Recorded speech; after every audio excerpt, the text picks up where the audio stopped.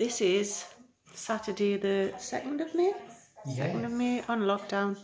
Watching Bloody Tipping Point. We've done some cushions. We've put the new cushions on. This is how we rock and roll. Scratch Art's come. Where's Scott's elephant? Scott's in his cot. Now to get up for. Coca-Cola, baked potato saved my life. That's Paul's sleepy hair. It's gone all fluffy. The needs are cut. And the time is five to five. And we are rock and rolling. Oh yeah. Oh yeah.